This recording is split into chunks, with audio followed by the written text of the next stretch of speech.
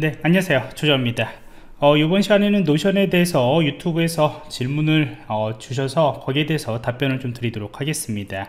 여러분들이 이 페이지 노션 페이지를 만들고 난 뒤에 이것을 누군가하고 같이 편집을 하고 싶다 라고 했을 때 여러 가지 방법들이 있습니다.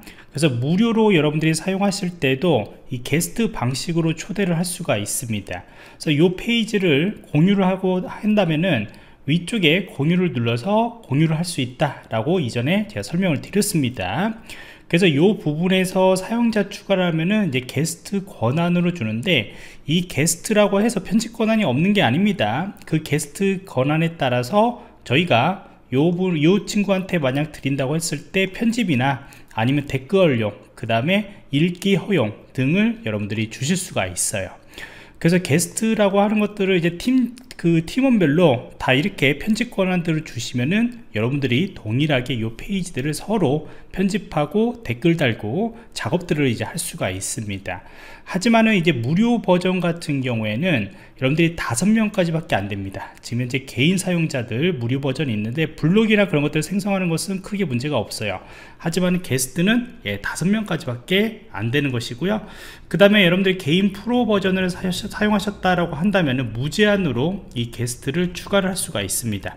그렇기 때문에 어떤 소규모 한 다섯 명 이하의 기업에서는 이 게스트에 있는 무료 버전을 가지고도 충분히 회사의 업무를 하는 데는 크게 어려움은 없습니다. 나중에 이제 파일 첨부에 대해서 좀 어려움이 있겠지만은 나머지는 그게 큰 어려움은 없어요.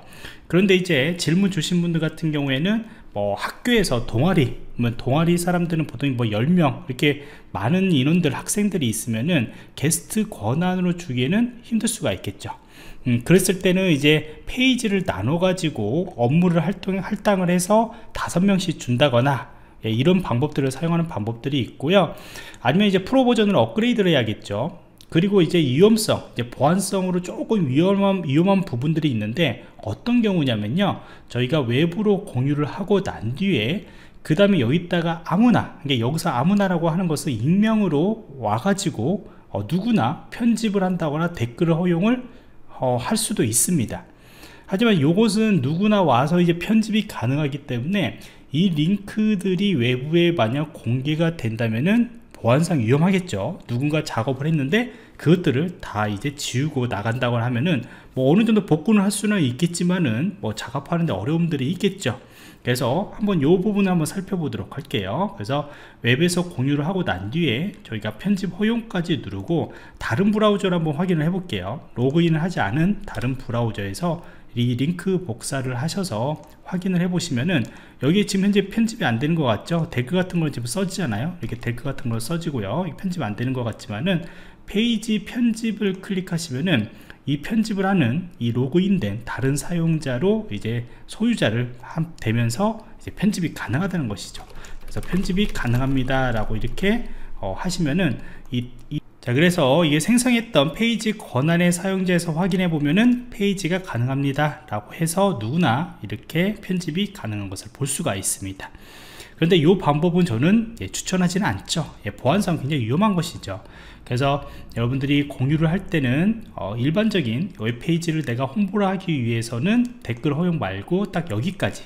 그리고 테이블 이 템플릿을 이 만들었던 홈페이지를 또 누군가가 가져갈 수가 있기 때문에 복제 허용도 이렇게 꺼두시면 좋겠죠.